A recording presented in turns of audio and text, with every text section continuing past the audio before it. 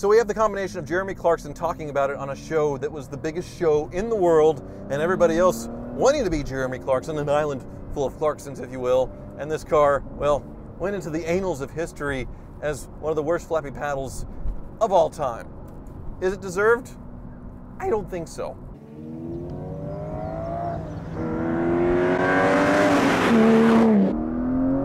One Mississippi. Onomatopoeia. Hippopotamoniosis. I, I guess I can say pretty high syllable words in between shifting, but it is really, really not that bad. Welcome to Hoovie's Garage, the dumbest automotive channel in all of YouTube. And my latest purchase, or really trade, should look familiar to you because it is indeed the Car Trek Vanquish. It is a 2003 Aston Martin Vanquish that we used in Car Trek 2. Ed Bolian of VinWiki bought it for less than $30,000. It spent a lot of time in Colombia, the country, but no drugs were found. And then he sold it to Freddie before I could stake my claim to it. Freddie bought it for around $37,000. And at the time, I was quite angry because it was the first time Ed Bolian had really given away a car. He was kind of delirious in the record heat that summer in Las Vegas, like 120 degrees, literally, and he was sweating it out in this thing with bad air conditioning, badly misfiring, and he sold it for maybe a slight loss to Freddie. And I was so jealous, especially after he sold me a very broken Murcielago and he made 30 thousand dollars off of me on that sale. Or maybe more i've heard different numbers over the years. But in the two years since on this car trek I have been a very, very patient man, waiting patiently for my turn to reclaim this car that I have always wanted. And it finally happened with a very, very broken Audi R8. If you all don't recall, I bought this Audi R8 for my wife for Christmas, and I was told by the seller it ran and drove, and it showed up uh, not running and driving. It indeed needed an engine because it was way out of time, and I was quoted, well, over $20,000, close to $30,000 to fix it on a vehicle that I was $45,000 invested to with accident history, with, uh, you know, kind of sketchy odometer reporting in uh, decent but sketchy condition, which realistically would have me almost $80,000 into a V8 R8 with that kind of history. It made no sense. But when I had that car, it was kind of like bait for Tavarish. I knew he wanted it. He emailed me almost immediately talking about how much he wanted it. And rather than sell it to him, I said, well, I do covet your vanquished good sir. And this car, thankfully, he hadn't done anything with because of the reason why these are so cheap. And, well, here it is. I traded him my R8. I gave him $10,000 on top of that. And I gave him back the Pimp My Ride van as sort of a tip so he wouldn't complain. And now, it's mine. So not only is it mine, but it's actually mine at a pretty decent price considering today's market. So let's say $55,000 into this V12 Vanquish. And really, that's about the going rate, but it's better than losing ten or $20,000 selling off that Audi R8 uh, with all those problems. So thank you again for that, Freddie. But really, that's all probably this car is worth given its story and history. 27 or 8,000 miles on it, so not too bad on the miles.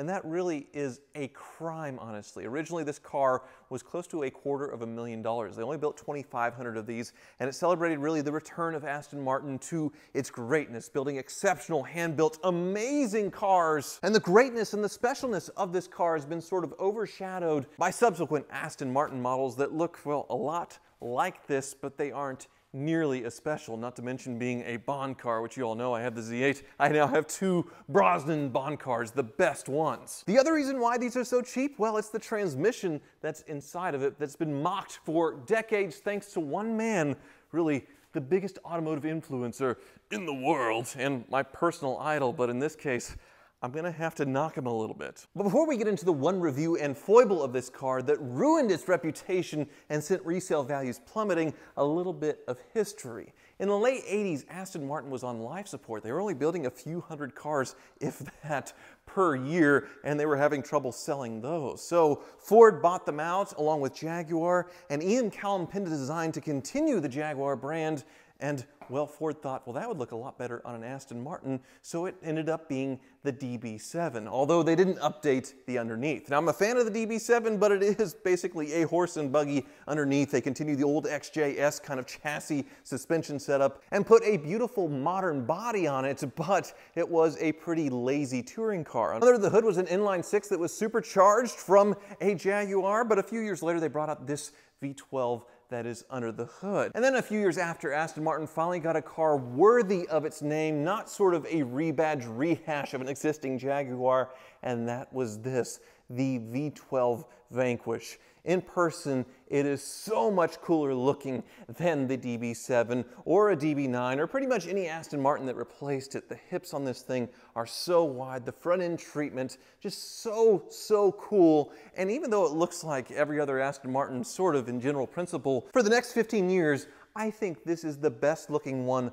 of the bunch and it is pretty much the original. I mean, look at this rear quarter section right here. Now, Aston Martin made about 2,500 of these and priced them around $230,000 to be competitive with the Ferrari 575.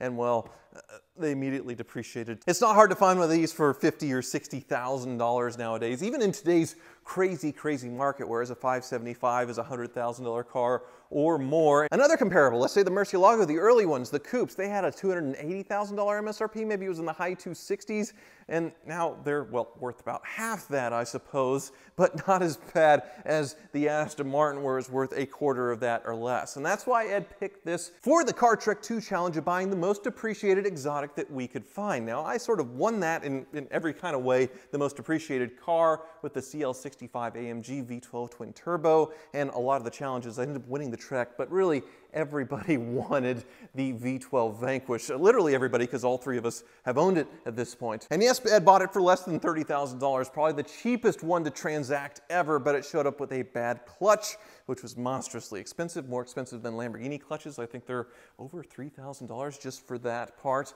and numerous other issues that weren't really corrected by the time Car Trek rolled around and he struggled through the entire thing. Now, Freddie bought it. The Wizard actually inspected it during the trek, so I had that peace of mind for the first time. We're actually going to go back up there today because it's been two years since then, but Freddie has fixed a lot of things, including the brakes. I'm sure it wasn't cheap. Now, I know one of them did a tune-up on it, changed the spark plugs. It is running a lot better than it was in the desert. And other little here's and there's. The wheels are aftermarket. The original ones were bent, probably being in Colombia with the terrible roads. But these, I really don't mind them. I think they look fantastic. The whole car needs a clean, but otherwise, it is in very, very nice shape. And coming from a DB7 and a DB9 recently, a Rapide, this thing just feels more special for a lot of reasons inside and out. Oh, there's still my junk in here. But you can kind of see the detail in the interior with the door panel. This is real metal, real metal surrounding the speakers. You can see it's a fantastic stereo system.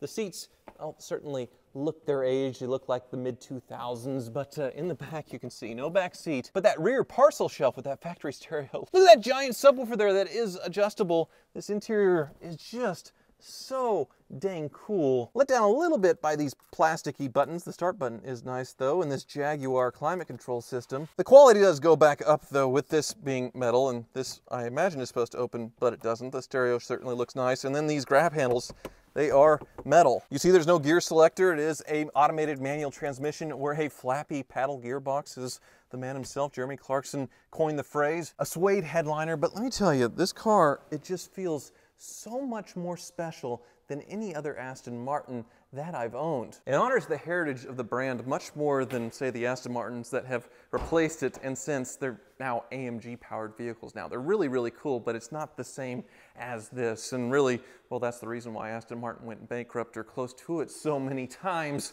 is because they would build cars like these where there was no bean counter telling them to not do that. But really, we should thank the cars that were built by bean counters because the DB7 obviously saved Aston Martin as a brand, proved it to be, well, it could be viable again, and they were able to build this. And of course, we saw the return of Aston Martin to Bond movies that was so important with this one in Die Another Day, rescuing Halle Berry from the ice hotel in that ice race with the Jaguar XKR chasing it. Was it a particularly great Bond movie? No, but I was entertained by it. Same with The World Is Not Enough and the Z8, not the greatest Bond movie, but very entertaining, very fun. And unlike the Z8 that got sawed in half, the Vanquish had a lot more screen time and, well, really did save the day. Cloaking device, that kind of stuff. So for so many reasons, in my eyes, this is such an undervalued, underappreciated car. If you take the Z8, for example, that's now a $200,000 plus vehicle with low mileage. Whereas this I was waiting for the transmission to shut up, whereas this is just criminally cheap, basically like a mid-level Ford F-150 cheap. And well, we all know why. Yep, these things, but in my opinion, it is one of the biggest automotive fish stories ever. Up there with like Porsche IMS bearings or Mercedes AMG 6.3 head bolts. It's gotten so crazy over the years, so blown out of proportion with so few people actually experiencing the car firsthand to make their own opinions that, well, it's just ridiculous. And it's why these are so cheap. But today, we are setting the record straight. Starting the V12 Vanquish, you put in the Jaguar key that is barely disguised, put it in neutral, both flappies, and then engine start. Feels special, doesn't it? Next, I'm gonna hit the sport button, which is what you should do immediately because it makes all of it so much better. Then first gear, and we're off. And guess what? The world is not coming to an end. The clutch engaged smoothly, it's fine. But let's get to the part where Jeremy Clarkson absolutely hated this thing. All right, let's accelerate and shift. Now, does that seem slow to you? Does that seem terrible? Especially keeping in mind this is 20 years old, this technology at this point?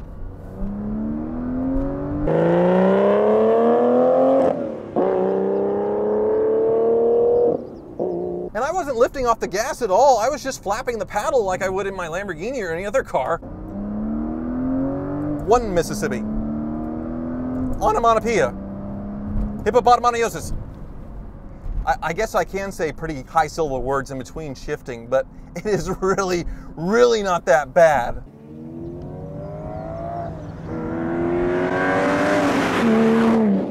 All it took for this car to have this reputation is a review by one man, Jeremy Clarkson, who drove this thing in top gear, complaining about all the flappy paddle gearboxes that were coming out, drove this thing to a boat ramp, and floor reversed it up the boat ramp trying to turn around just to show how terrible it was. But really, I broke traction there a little bit. That was the traction control. But really, try doing that in a manual transmission on a steep hill, a boat ramp like that, and you'll struggle just as hard. Yes, it can feel clumsy at times, and yes, it doesn't always do what you want it to do, but the same goes for any manual transmission driver. You always make a mistake. But if you had a normal slushbox car, you wouldn't be having this much fun. And I think the other issue was people buying these expecting them to drive like an automatic or hitting that horrible automatic why did that Volkswagen not get over? That's ridiculous. Anyway, hitting that automatic button and thinking it would act like an automatic transmission, but really it just acts like a child learning how to drive a manual transmission. So the automatic mode is terrible, but the rest of it, not that far off of a Ferrari or a Lamborghini of the era. So we have the combination of Jeremy Clarkson talking about it on a show that was the biggest show in the world, and everybody else wanting to be Jeremy Clarkson, an island full of Clarksons, if you will. And this car, well, went into the annals of history as one of the worst flappy paddles of all time. Is it deserved? I don't think so. I really, really don't think so. And in today's world of lightning fast dual clutch cars, does it really matter? I mean, honestly, does it matter? Do I wish this car had a manual transmission? Well, absolutely, of course, and that's what Jeremy Clarkson was complaining about. Give him the power to control the gears and do what he wants with the clutch and all that stuff. And I did agree with him in that respect. And Aston Martin, well, apparently agreed with them in retrospect as well, because they do offer a service to convert these things to a manual transmission. Costs around $50,000, $60,000, not including shipping. And you get a car back with completely transformed. They do a whole new center console, change a lot of things to make it a proper manual, but man oh man is it expensive. Now Freddie's original intent, Tavarish, when he bought this car was to convert it over himself, but I don't think Aston Martin will sell him the parts, so he'd have to figure it out on his own. And while that's far from impossible from him, it's quite a feat. This thing sat for a few years because of it, but I think when he got his manual DBS, that really changed his tune because, well, there it was right there, a manual Aston Martin V12, almost as pretty as this in my opinion. So basically this car was waiting for me. Now, I hadn't driven one of these in a very, very long time. I didn't drive this one because it was so hot in Vegas and Ed was dying in it and just melting his goo and things into the seat that I didn't want to sit in it. Now that I say that, I doubt this car's been cleaned since then. But anyway, I got this thinking, well, maybe I will send it off to England to get it manual swap to get that all converted, and then I do get the money back. The cars are worth at least what you put into them to make them a manual. But now that I have it, I don't want to do it. This really, really isn't that bad. Is that a Supra? Anyway, I do feel like there will be a time where people do figure this out, figure out how special these cars are. It's a carbon fiber chassis this thing sits on, even though it is very, very heavy. Low production, one of the most beautiful cars of all time, 460 horsepower V12. I feel like the secret, it can't stay a secret for that much longer. This thing is just too good. But maybe the car wizard will disagree with me when he looks at it again two years later. I know he liked it back then, but Will he like it today? And I know he has worked on a few of these before, so maybe his opinion on these mechanically will change our tune a little bit, but right now, there's no way.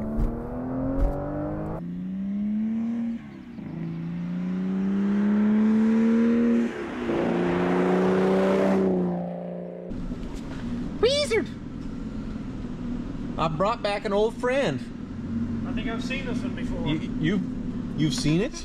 yes. It shut up. Sorry, it's it's a little talkative. You've seen it. You've been under it, and you gave it a pretty decent bill of health once before two years ago. Right. And since then, it's actually gotten better. Freddie had fixed the brakes. You had mentioned the brakes were really. You probably don't remember because you do so many inspections, so many cars. hmm It's But been a while. I, I watched the video again because I didn't remember. There weren't any leaks. You just said the brakes were really thin, and there was a code for an oxygen sensor, which I think is fixed. But now the check engine light is flashing. It goes away sometimes, but then I can tell it's sputtering every once in a while. It's very intermittent.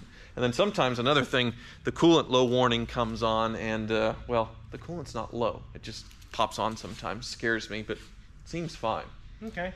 Well, we could scan the codes real quick to see what it says before we get it on a lift and look at it. Sure, but let's pop the hood first. Okay. I didn't show it in my garage at home because I was saving it for you. But look at this. Another way this thing looks so special, the engine bay presentation on these. See this crossbar with this old school carbon fiber mesh? Beautiful. And it has like little tubas that let heat out of the top. Yeah, so the there's a heat shield around the uh, headers and they vent out into the hood, which makes it functional. But otherwise, the same V12 that Aston Martin used for a long time, two Ford Taurus V6s glued together to create uh, actually a pretty good engine. Yeah, they re- it really are a good engine. Thanks to uh, this guy here. Ah, yes, final inspection by Thomas Clark. He inspected well. It's held up decently considering the life it's had. Mm-hmm. So it looks the same as two years ago. Anything new you're seeing that's wrong? No. I'm seeing Well- leaks. I'll take a look around the front here. I think it was dry last time and it's dry again. I guess we could check for codes and see what's going on there. Sounds good. What does that interior smell like to you? Kind of smells like Freddie's rear end. Well, or Ed's. I mean, he sweated so much in this car in Las oh, Vegas. Oh, Ed's. 120 degree heat. Yeah, a, a combination of both of their sweaty asses. Yeah. Parf- Parfum de Ed. It, it needs a detail for sure. Oof. So where's the OBD2 slot on this thing? Well, most cars are under here, somewhere under here, but actually this one, you remove this panel.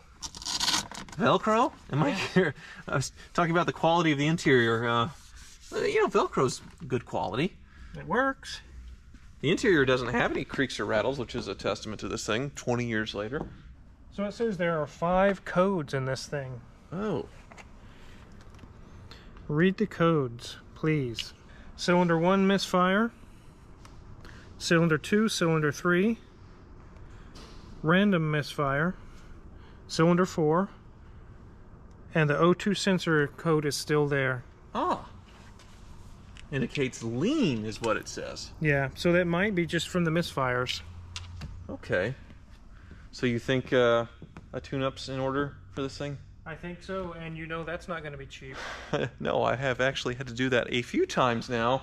And it requires removing all this beautifulness here, removing the intakes to get to the ignition coils and the spark plugs. And the coils themselves are very expensive. It's like twelve or fourteen hundred dollars because they're Aston Martin specific, and a lot of them. So, so three grand.